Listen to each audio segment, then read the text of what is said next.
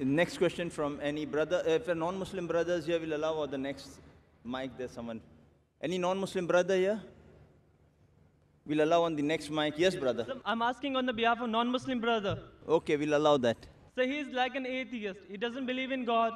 And what he said that we don't believe in Quran and you should not believe in God.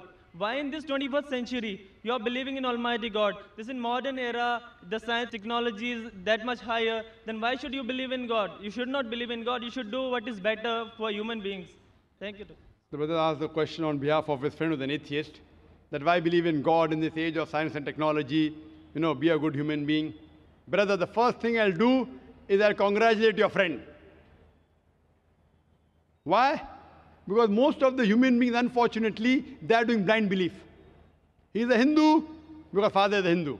He's a Christian because father is a Christian. Some people are Muslim because their father is a Muslim. This friend of yours, atheist, is thinking. He may be coming from a religious background, but he may not agree that the God which his parents worship, they are worth being called as God. So the reason I congratulate him is because he has said the first part of the Islamic Shahada, La ilaha, there is no God. The only thing I have to do is prove to do is Allah but Allah, which I shall do inshallah. So this person, half my job is done. To the other non-Muslim first, I have to prove to him the God is worshipping is false God. And then prove to him about to Allah subhanahu wa ta'ala. This non-Muslim is an atheist, half my job is done. He's already said the first part of the Islamic Shahada, La ilaha, there's no God. The only thing I have to do is Allah but Allah, which I shall do, inshallah. Now, since you said your friend believes in science and technology and the world is advancing, I will ask the atheist a question that suppose an equipment is brought in front of him who no one in the world has ever seen.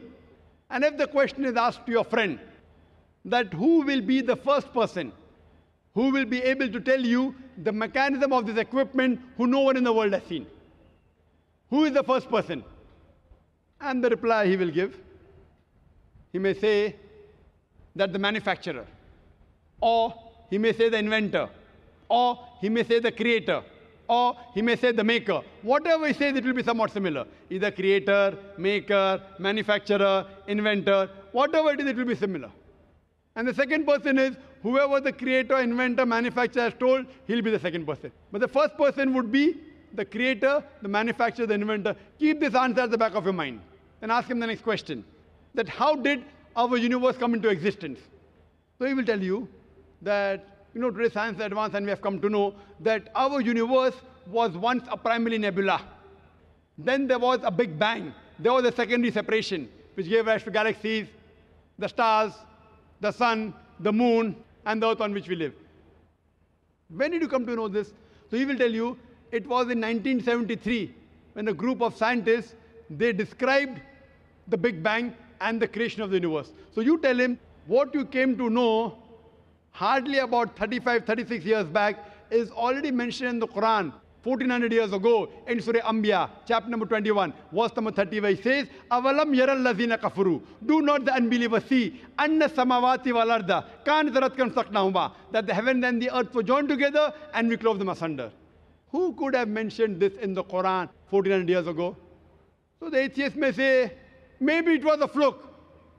Don't argue. Continue. Ask him the next question. What is the shape of the earth? So he will tell you, previously, the human beings thought that the earth on which we live is flat. It was in 1579 when Sir Francis Drake, when he sailed around the earth, he proved that the earth is spherical. You came to know in 1579, hardly 400 years back. Quran mentions 1400 years ago. It's mentioned in the Quran in Surah Naziyat, chapter number 79, verse number 30. Wal dahaha. And thereafter, we have made the earth egg-shaped. Dahaha, one of its meanings is an expanse, and the earth is an expanse. The other meaning is derived from the Arabic word duya, which means an egg.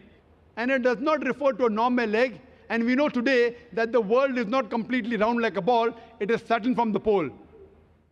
It is geospherical in shape. And the Arabic word dahaha doesn't refer to a normal egg, it specifically refers to the egg of an ostrich. And if you analyze the shape of an egg of an ostrich, that too is geospherical in shape. Imagine the Quran speaks about the geospherical shape of the earth 1400 years ago. You ask a friend, who could have mentioned this in the Quran? He will say, oh, maybe your Prophet Muhammad, peace be upon him, he was an intelligent man. Don't argue, continue. You ask him the light of the moon, is it its own light or reflected light? So he will tell you that previously we human beings thought that the light of the moon is its own light. Recently in science, 100 years back, 200 years back, 300 years back, we came to know that the light of the moon is not its own light, it's a reflected light. What you came to know recently is mentioned in the Quran 1400 years ago in Surah Furqan, chapter number 25, verse number 61. The Quran says the light of the sun is its own light and the light of the moon is described as munir or nur, meaning borrowed light or reflection of light. So who could have mentioned that the light of the moon is not its own light but reflected light 14 years ago? He may give a pause and say, okay, maybe your prophet was very, very intelligent. Don't argue. Continue. I learned in school that the sun, though it revolved in the solar system, in the galaxy, it did not rotate about its own axis. Is that what is mentioned in the Quran? No, no, that is what I learned in school. We were in 1982. 1982? 27 years back, I had learned that the sun was stationary. But Quran says in Surah Anbiya, chapter number 21, verse number 33, Huwallazi khalaqal layl wa nahara. It is Allah who has created the night and the day. was shamsa wal qamar, the sun and the moon. Kullun fi falaki. Each one traveling in orbit with its own motion. Word yasbahun means it describes the motion of a moving body. So Quran says the sun and the moon, besides revolving, it even rotates about its own axis. And today science has come to know that the sun takes approximately 25 days to complete one rotation. Who could have mentioned this in the Quran 1400 years back, which we came to know recently, hardly 20 years back, 30 years back? He'll give a pause. Don't wait for the answer. You can continue. Quran speaks about that the sky, Almighty God, has made a protected ceiling. Without it, life cannot exist on the face of the earth. In Surah Anbiya, chapter number 21, verse number 32. Quran speaks about water cycle in several places in the Quran. In Surah Az-Zumur, chapter 39, verse number 21. In Surah Rum, chapter number 30, verse 24. In Surah Hijr, chapter 15, verse 22. In Surah Mu'minun, chapter 23, verse number 18. In Surah Nur, chapter number 24, verse number 40. In Surah Araf, chapter number 7, verse 57. Several places, the Quran speaks about the water cycle in great detail. Who could have mentioned this 14 years back? He'll give a pause. Don't argue. Keep on continuing. Quran speaks about biology, that we have created every living thing from water.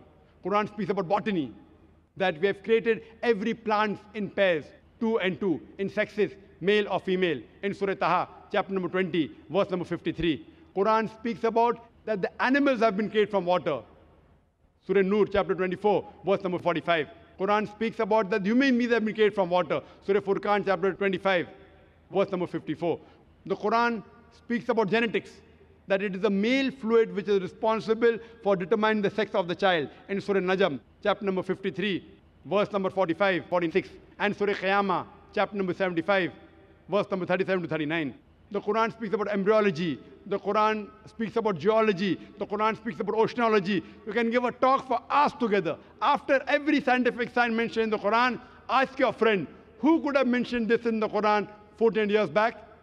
The only reply I can give you is the creator, the manufacturer, the maker, the inventor, this creator, this manufacturer, this inventor. We Muslims call as Allah, we call him God.